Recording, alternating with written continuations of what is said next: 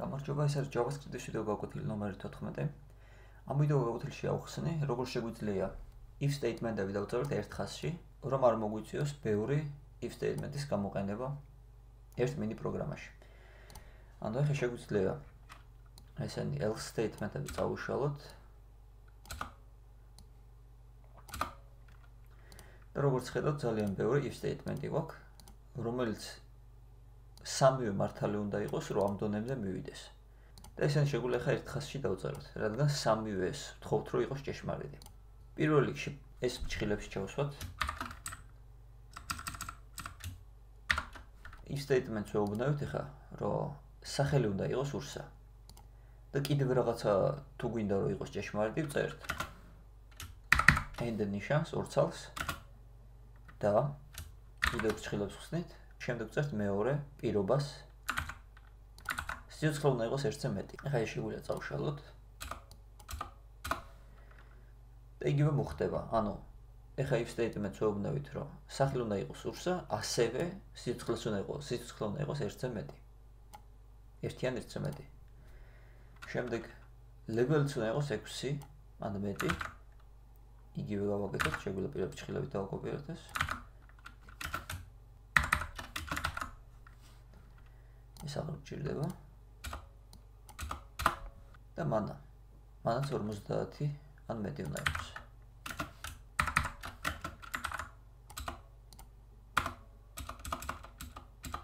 ესე აღარ გჭირდება.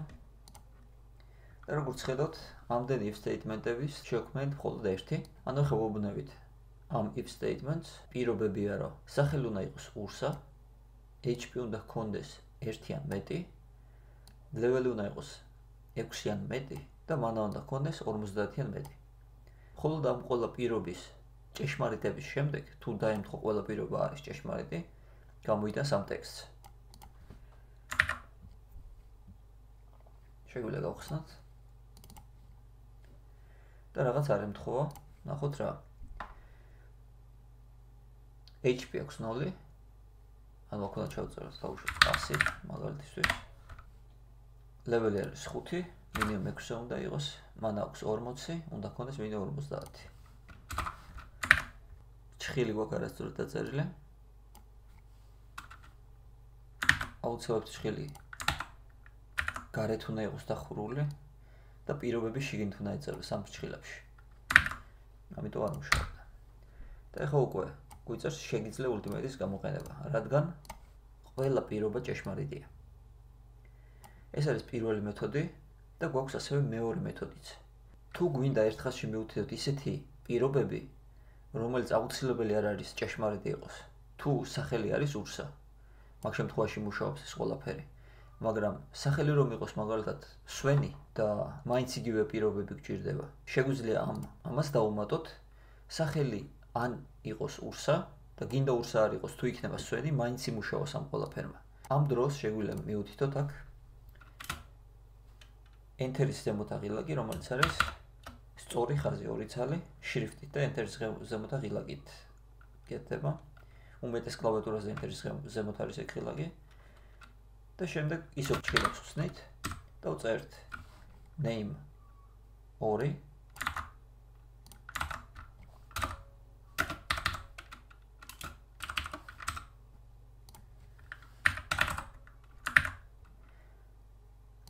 თქმა უნდა არ დაგავიწყოთ შეხილებში ჩავწეროთ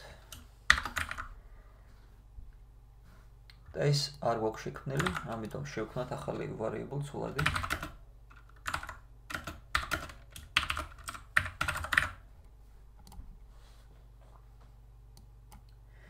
ანუ ეხლა რა ხდება? ამას ვეუბნებით. სახელი უნდა იყოს ურსა ან სვენი